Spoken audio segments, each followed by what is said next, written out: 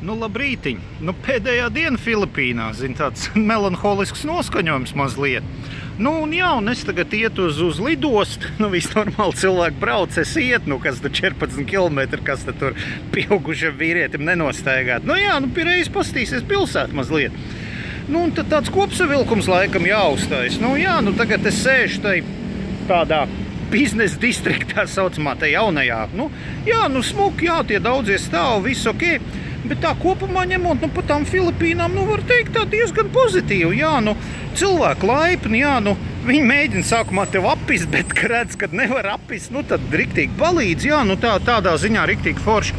Nu, tāds pilsētiņas tā nepārāk, bet tā daba tā tīra smuka, zina, no tā sals uz sals pabraukā tā inčīgi, jā. Nu, un tad Tad es tagad jau uz lidostu, jau nu, lidos mājās, jau, jau vakar lauvenai zinu, uzvanīja tais boršs pēc hekča, jā, nu vecais brauc mājā. Bet nekā nebija, nekā nebija, nekāda māja vēl, zinu, uz Vietnamu es braucu. Jā, tagad prasu, jā, kur, kur, kāda Vietnam, kā tik. Var sakot, nu stāsts diezgan, diezgan tāds banāls mazliet. Nu vakar atbrauc, atbrauc uz to galvaspilsētu, iet tagad nakšņot kaut kur. Atkal kaut kādā gaļošņikā, bet nu, par to nav runa. Runa ir par to, ka nu, veikals vēl vaļā un es tur ieju iekšā. Nu, pusdienas nav ēdis, vakariņas nav ēdis, nauda vēl pišķir. Un, un paņēma nu, daži, daži tos lētos rumus vēl nu, ceļkājai, zin kā. Nu, jā, paņem tos rumus, bet nu, šorīt nu, daudz jāsteig. Es domāju, daudz neņems. Nu, paņēma četras mazos, nu, piec, nu, divu litrinieku. Nu, tā prātīgi.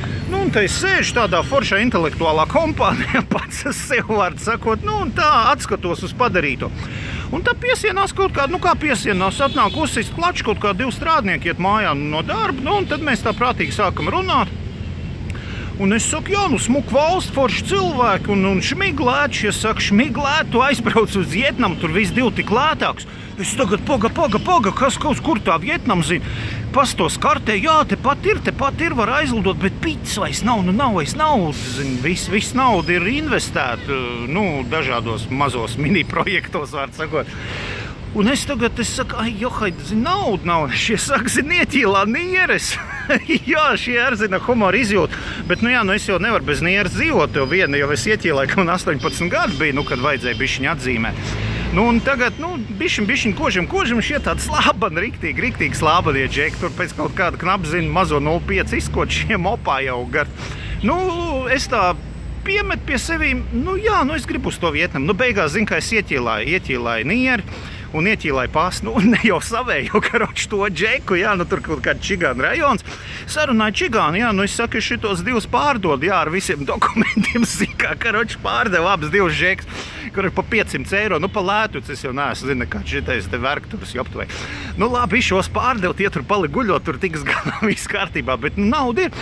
Nu, un tagad es zvanu Lauvenai, jā, nu, hekču tu var nopirkt, jā, borši vēl nevāru, nu, var sakot, vecais vēl bišķi uz Vietnamu. Nu, tad tagad jāturās, tagad atklāsim Vietnamu.